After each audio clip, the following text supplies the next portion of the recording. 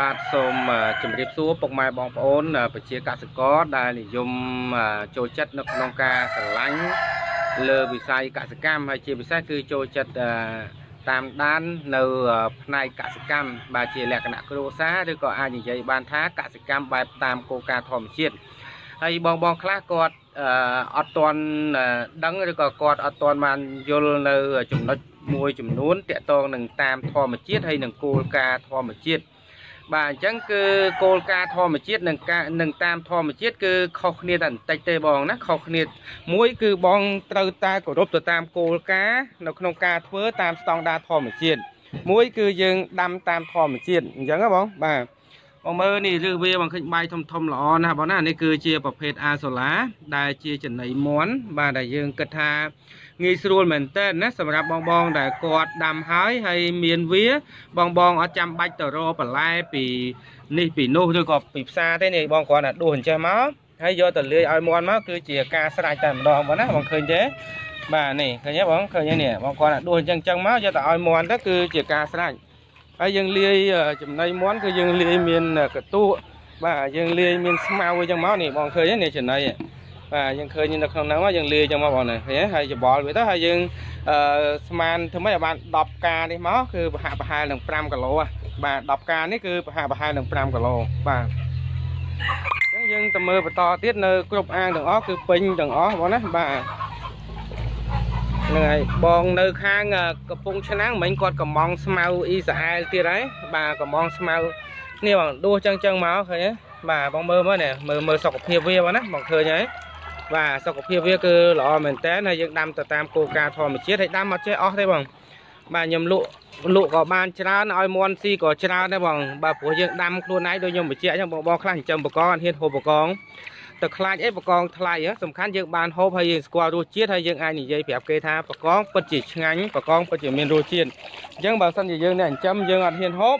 ហើយបើជើងជាយើងដាំអាសូឡាគិតតែពីលក់មន់របស់យើងមានតម្លៃថ្លៃជាងអាសូឡាទៀតបង នេះដាក់នេះដាក់នេះដាក់នេះអឺបាទគាត់ណាអញ្ចឹងគឺនេះយើងដួសលាយម្សាហើយហើយមិញម្សាខ្ញុំមកឡៃចូលទៅមើលត្រង់មន់មកវិញគាត់លាបចំហើយអស់ហើយហើយមើលបន្តទៀតនៅក្នុងអាងនេះក៏មានដែរយើងឃើញនេះល្អល្អណាស់បង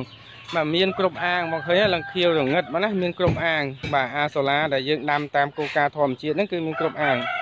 អត់ចេះរីងស្ងួតទេបងណាឲ្យតែមានតែដាំតែម្ដងបានហើយគឺបានរហូតបាទ ហើយបងបងខ្លះក៏គាត់ដាំទៅនៅជួបបញ្ហាដែរបាទយើងធ្វើអីក៏មានបញ្ហាដែរបងនិយាយរួមទៅយើងធ្វើអីក៏មានបញ្ហាដែរបងឃើញហ្នឹងណាបាទបងឃើញហ្នឹងណាណាអូនណាឃើញហើយបាទរស់មើលមើលពណ៌វាស្អាតស្អាតណាស់បងអើយបាទអញ្ចឹងសម្រាប់បងបងដែលគាត់ស្វែងយល់ទៅយើងដួសអញ្ចឹងតែប៉ិតយើងត្រូវដួសដាក់កញ្ឆែងមួយប៉ុន្តែសារនេះខ្ញុំធ្វើការ live ខ្ញុំ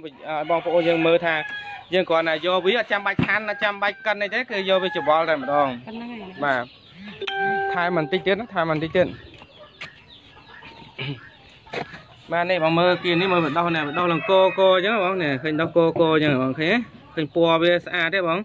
បាទអញ្ចឹងអានេះសម្រាប់បើចង្រិតអីដាក់ទៅគឺចូលចិត្តស៊ីមែនតើណាចង្រិតអីហ្នឹងគឺចូលចិត្តស៊ីបាទដាក់ទៅក្រឹបក្រឹបក្រឹបហើយធំធាត់លឿនទៀតព្រោះវាមានប្រូតេអ៊ីនរហូតដល់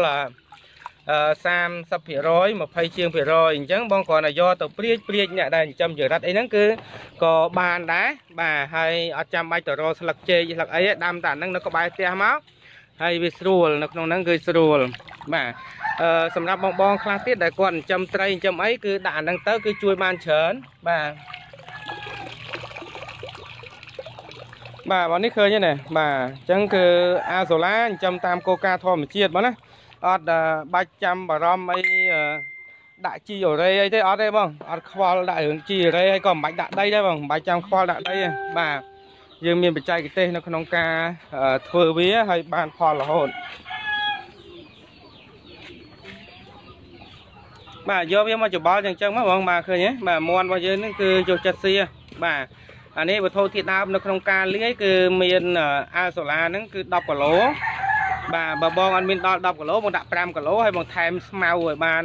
5គីឡូអញ្ចឹង10គីឡូបន្តមកទៀតបងលាយកន្ទុក10គីឡូមកបាទហើយបើបងចង់ថែមចំណីសម្រាប់ថែមមួយកន្លះគីឡូក៏បាន1គីឡូក៏បាន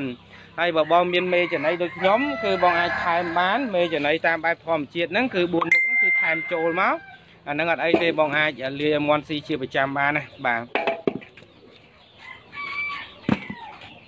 នេះគឺគឺយើងប្រើទៅតាមគោលការណ៍ធម្មជាតិបងឃើញទេបាទអញ្ចឹង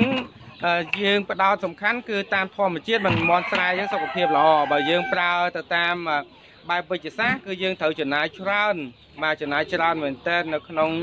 អឺការទិញចំណីផ្សេងផ្សេងក៏ដូចជាថ្នាំផ្សេងផ្សេងជារៀងរាល់ថ្ងៃរាល់ខែរាល់ឆ្នាំទៅត្រូវប្រើអញ្ចឹងយើងប្រើតាមរបៀបនេះយើងចំណាយអស់តិចប៉ុន្តែទោះបីជា មន់លូតលាស់ខុសគ្នា10ថ្ងៃ5 10ថ្ងៃក៏អត់ជាបញ្ហាដែរព្រោះយើងប្រើចំណីក៏អស់តិចជាងគេដែរបាទប្រើថ្នាំក៏យើងអត់ទៅចំណាយលើការប្រើថ្នាំដែរក៏យើងប្រើទៅការធម្មជាតិសុខភាពវាល្អប្រសើរជាងបាទល្អប្រសើរល្អបានយូរមានន័យថាយើងអត់សូវបារម្ភរឿងបញ្ហាថាភ័យខ្លាចថាមន់មានបញ្ហាទេបាទ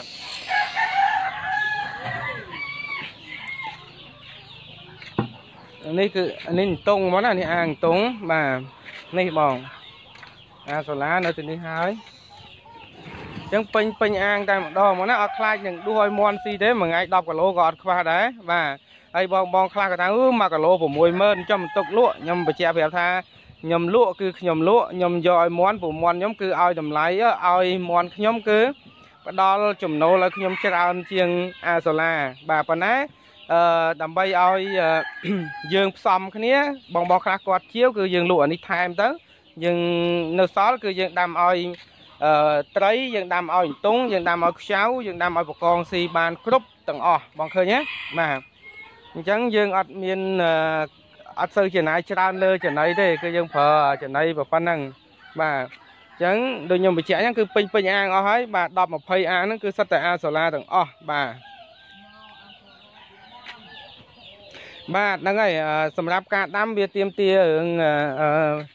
ចំណេះដឹងនៅក្នុងការដាំបន្តិចបងហើយជួនកាលបងលាយទៅអត់ត្រូវលាយទៅអត់ត្រូវអញ្ចឹងអឺក៏អត់ល្អដែរបងណាដូចខ្ញុំបញ្ជាក់អញ្ចឹងមិនមែនគ្រប់គ្នាម្នាក់ម្នាក់សិតតែខ្លាយទៅជាសទ្ធិខ្លាយទៅជាមន្ត្រីទេប៉ុន្តែសំខាន់បំផុតយើងដែលស្រឡាញ់ផ្នែកហ្នឹងយើងត្រូវធ្វើម៉េចឲ្យបានជោគជ័យហើយយើងចាំមន់ធ្វើម៉េចកុំឲ្យមន់ងាប់ឬក៏ងាប់ដែរងាប់ទៅតិចអញ្ចឹងយើងត្រូវស្វែងយល់ថែមហើយត្រូវសួរខ្លួនឯងថា តើយើងបានធ្វើវាដល់កម្រិតណាហើយណាយើងសួរខ្លួនឯងថាយើងបានធ្វើវាដល់កម្រិតណាហើយហើយយើងបានថែទាំវាដល់កម្រិតណាហើយបាទហើយយើងបានត្រួតពិនិត្យវាជារឿយរឿយទេបាទយើងបានត្រួតពិនិត្យវាជាប្រចាំជាប្រចាំទេបាទដើម្បីធានាថាអាសូឡារបស់យើងលូតលាស់បានល្អហើយធានាថាយើងបានធ្វើតាមផែនការរបស់យើងរាល់ថ្ងៃហើយធានាថាអឺ វាមាននៅគេហៅថាមាននៅ pH គ្រប់គ្រាន់ដែលបង្កការលូតលាស់ទៅដល់អាសូឡាហើយក៏ដូចជាត្រីនៅក្នុងនឹងផងដែរបងឃើញនៅក្នុងនឹងត្រីគឺមានច្រើនមែនតើនៅក្នុងនឹងហើយយើងអាចដួសត្រីបានជាប្រចាំទៀតបាទក្នុងមួយអាងនេះបងណាបាទក្នុងមួយអាងនេះគឺបានច្រើនមែនតើខ្ញុំវាយទៅមួយអាងនេះគឺគិតអត់ចាញ់ទេបងបាទគិតអត់ចាញ់ទេមានន័យថា មួយអាងនេះបងដួសមួយថ្ងៃ5គីឡូស្អែកឡើងវាពេញវិញ5គីឡូបងដួស5គីឡូស្អែកឡើងវាពេញវិញ5គីឡូអញ្ចឹងវាបំបីទ្វេដង បាទអញ្ចឹងអត់អាចកណនីថាមួយអាងនឹងបានផលប៉ុន្មានទេ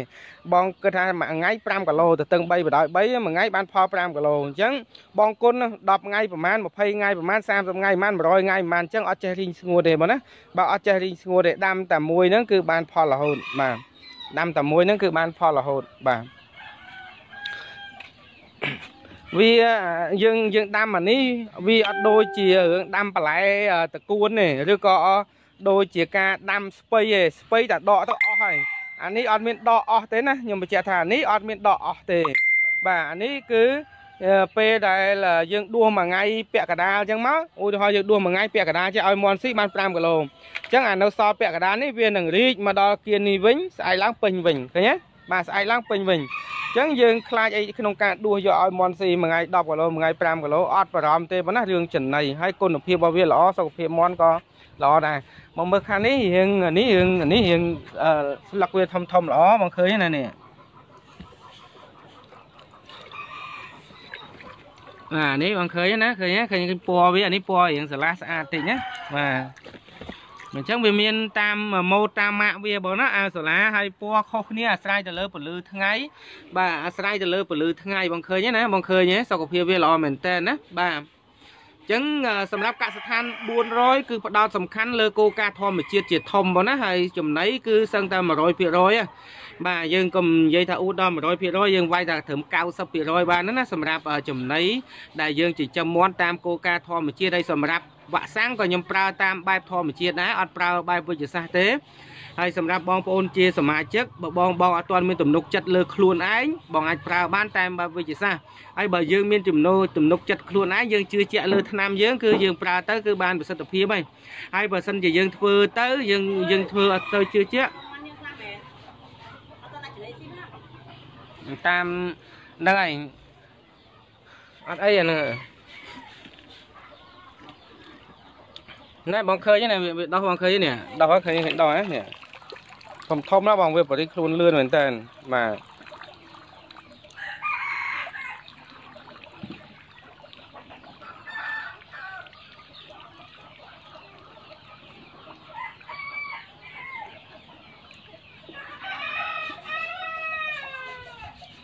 បាទសួស្ដីបងបាទ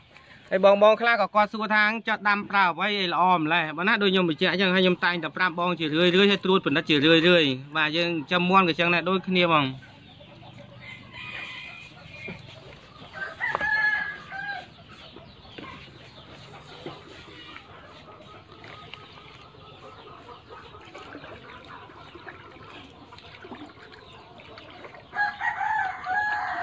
បាទបងឃើញណាបងដាំតាមគោលការណ៍ធម្មជាតិទេ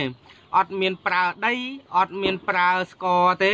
បាទយើងប្រើតែសូលូសុងយើងប្រើទឹកសូលូសុងតែដំបូងឯងហើយក្រោយមកគឺយើងប្រើលែងប្រើហើយវិធីសាស្ត្រមួយទៀតយើងលែងទៅប្រើទឹកសូលូសុងហើយទឹកសូលូសុងយើងប្រើតែដំណាក់កាលដំបូងឯងក្រោយមកគឺយើងលែងប្រើទឹកសូលូសុងហើយអញ្ចឹងអឺបងបងនៅខាងព្រៃវែងគាត់កំង20គីឡូយកទៅទៅទៅដាំ បាទហើយគាត់កំពុងតែរៀបចំតង់បដាហើយតង់ក៏គាត់កំងតង់ដែរហើយគាត់កំងអាសូឡាទៅម្នាក់10គីឡូម្នាក់10គីឡូយកទៅដាក់ទៅតឹង5ម៉ែត្របដោយ15អញ្ចឹងរៀបពីរអាងបាទអញ្ចឹងគឺគាត់បានតំណតំណងពូជយកទៅហើយបាទរៀបចំជូនគាត់អឺបន្ទាប់ពីគាត់ថាអូខេរៀបចំហើយហើយអញ្ចឹងគឺនឹងរៀបចំអាសូឡាក៏ដូចជាតង់ហើយក៏ដូចជាទឹកសូលីសុងផ្ញើជូនទៅគាត់បាទ មកឃើញនេះរូបសុខភាពវាគឺល្អមែនតើណាបាទហ្នឹងហើយអរគុណបងបងហើយខ្ញុំសូមធ្វើការ live ប៉ុណ្ណឹងហើយយើងដល់វគ្គបន្តបន្តទៀតព្រោះខ្ញុំចែករំលែកខ្លីៗប៉ុណ្ណឹងទេបាទអញ្ចឹងសូមបន្តការខំប្រឹងប្រែងទាំងអស់គ្នាបងណាបាទអរគុណសុខភាពល្អទាំងអស់គ្នា